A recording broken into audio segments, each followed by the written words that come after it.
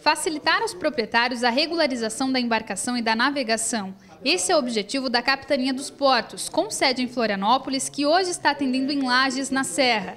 Navegantes e pilotos amadores e quem possui embarcação a motor, como jet ski, lancha ou barco, está com a documentação atrasada, deve aproveitar o dia para regularizar a situação. Nós viemos para cá é, exatamente para fazer a inscrição de novas embarcações, renovar inscri essas inscrições, né, que tem validade de 10 anos, né, fazer a inscrição de novos navegantes né, necessários para conduzir a embarcação. E o pessoal que também tem a sua é, carteira de habilitação vencida, que ela possui uma validade de 5 anos, também fazer a sua renovação. Foi o que fez seu Mário. Ele que possui um barco a motor para lazer nos finais de semana, sabe da importância de estar em dia com a documentação. Se você não estiver com a habilitação em dia, sofre a fiscalização da, da Marinha e você Aí pode ter até recolhido a tua embarcação, né, se estiver navegando. Na serra, esse tipo de embarcação geralmente é utilizado nos rios que cortam a região para atividades econômicas ou para diversão.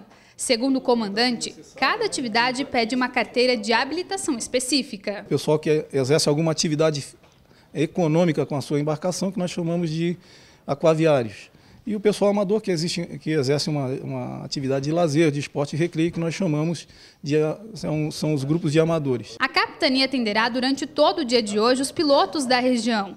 Além da confecção de documentos, eles também oferecem orientação sobre a regularização de embarcações feitas artesanalmente. A multa para quem não está em dia com os documentos varia de 40 a 3 mil reais.